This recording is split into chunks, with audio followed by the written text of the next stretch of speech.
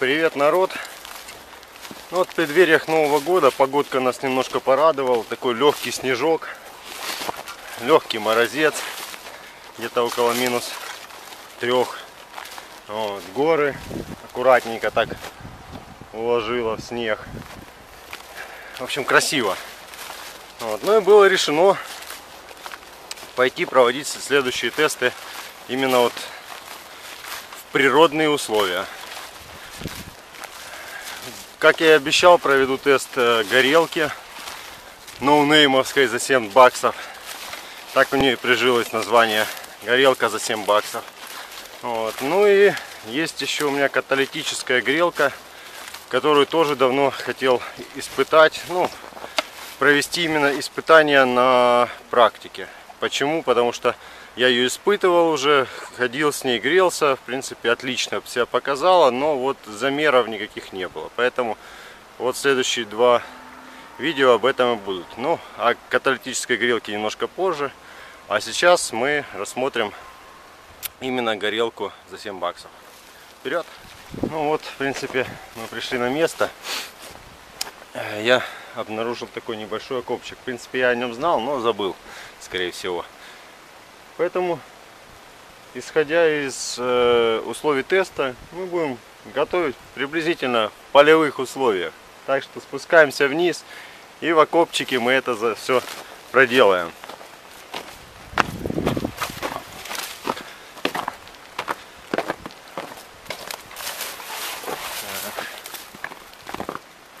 Ну вот, в принципе, более-менее чистый вид, за исключением бутылочки. Уберем ее потом. Вот, ну вот здесь, наверное, мы и проведем наш тест. Располагаемся. Ну, сначала представлю вам двух участников. Это уже известная по моим видео горелочка Ковея. Где-то было про нее видео, если вспомню, где-то вот здесь выложу ссылочку. И горелочка за 7 долларов. No name, Китай полнейший. Вот, тоже все видели в моей распаковочке. А сегодня мы будем сравнивать ее а, с 3 киловаттной э, горелкой Ковея. То есть, в принципе, именитый бренд, хоть и корейский. Вот. Испытывать мы их будем на двух абсолютно одинаковых баллонах. Хотя внешний вид у них разный, но заправлен туда один и тот же газ пропан, пропан-бутан. Вот, в принципе, который я уже заправляю не один год э, для тури... в туристические баллоны. Объем одинаковый, по весу они тоже практически одинаково заправлены на 2 трети где-то. Температура на градуснике, сейчас попробую показать, 1,4 градуса. Вот, надеюсь, видно. 1,3. Ну, постепенно падает температура. Чуть дальше скажу, э, насколько она упадет полностью, потому что только положил э, градусник. И кипятить мы будем вот в моем походном котелке и практически такой же кастрюле, из которой в принципе был сделан мой походный котелок. Так что они идентичны. Оба алюминиевые, оба одинакового объема. Ну что ж, приступаем. Установлю я, наверное, немножко ниже здесь, в самом окопе, чтобы не было вопроса по поводу задувания, хотя ветра, ну, я бы сказал, что его нету. Так что устанавливаем внизу и делаем старт.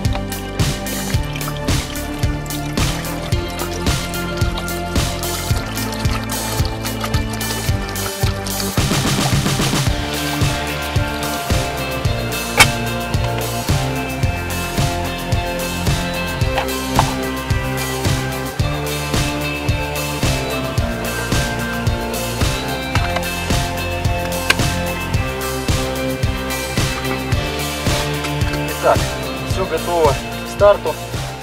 На секундочку еще вот остановимся. В принципе, много обзоров было по этой горелке. Вот так вот она выглядит, откидывающаяся для увеличения площади установки э, ножки. В принципе, можно маленькую кружечку сюда поставить, вскипятить утренний кофе. Или же вот побольше раскинуть их и поставить сюда кастрюлю или сковородку. Имеется пьезоподжиг. У Кавеевской горелочки пьезоподжига нету. Широко раскинутые ножки. Но уверенная такая мощная конструкция. 3 киловатта заявленная. Вот.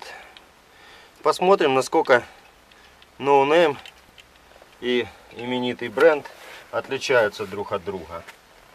Так, ну я сначала, наверное, подожгу горелочки, чтобы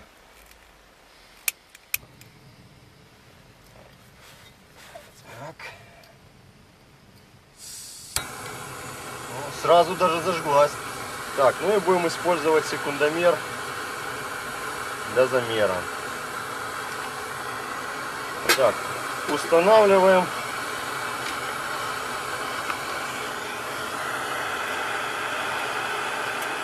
И делаем старт на полную мощность. И здесь на полную мощность. Ого, я даже боюсь, как бы мы не взлетели.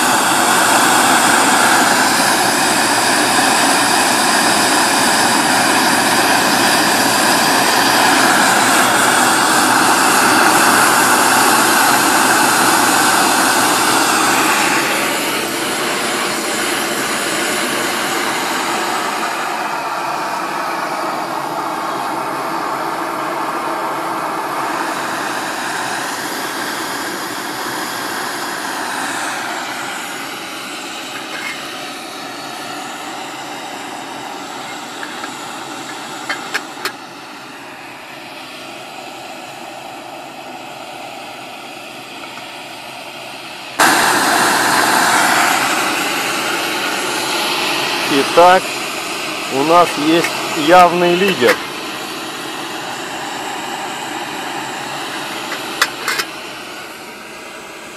Просто паровоз.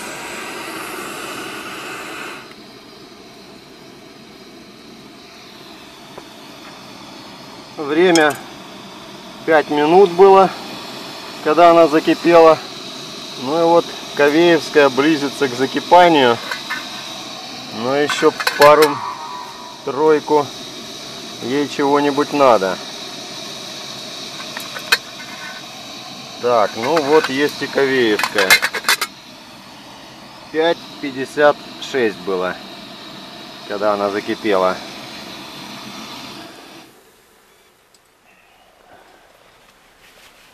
Итак, явный победитель.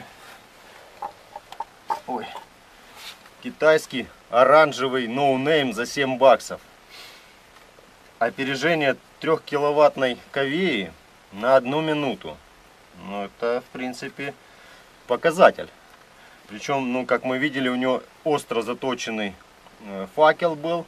У ковеи он больше э, расходится во все стороны, а у него остро заточенный. Ну, в принципе, сейчас, наверное, попробую вам еще показать разницу в самих факелах. Ну, наверное, именно за счет этого и происходит э, опережение в закипании. Но однозначно могу сказать, 7 баксов побеждают.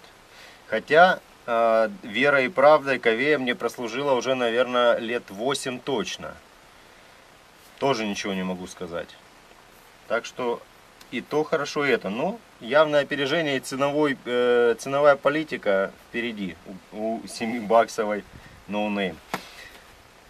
Так что сворачиваем этот тест и начинаем следующий. А с вами мы прощаемся. До новых видео. Пока.